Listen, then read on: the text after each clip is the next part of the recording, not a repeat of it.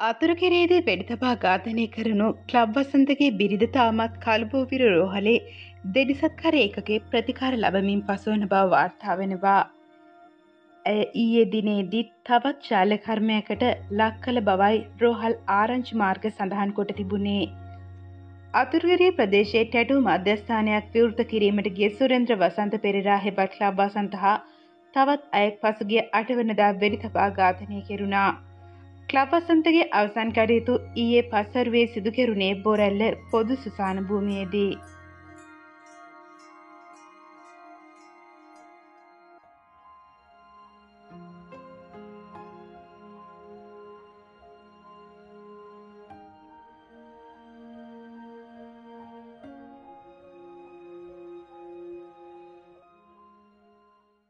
ඔබ තාමත් අපේ චැනල් එක සබස්ක්‍රයිබ් කරලා නැත්නම් නැවත වීඩියෝ නැරඹීම සඳහා සබස්ක්‍රයිබ් බටන් එක හා බෙල් බටන් එක ක්ලික් කරලා අපේ චැනල් එක සබස්ක්‍රයිබ් කරන්න.